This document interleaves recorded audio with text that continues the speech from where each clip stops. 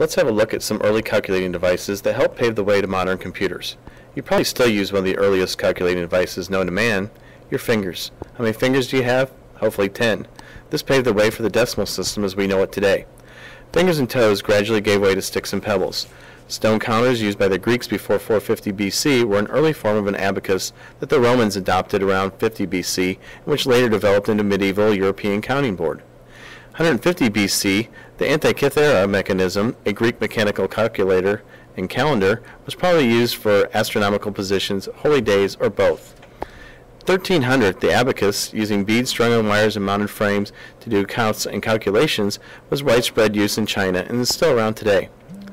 In 1500, quipu, or talking knots, a system of knotted strings, was in extensive use by the Peruvian Incas. Around 1642, Blaise Pascal invented an adding machine. It's the oldest surviving example of a true adding machine where tens can carry over. In 1803, another contrib contribution was made by Joseph Marie Jacquard.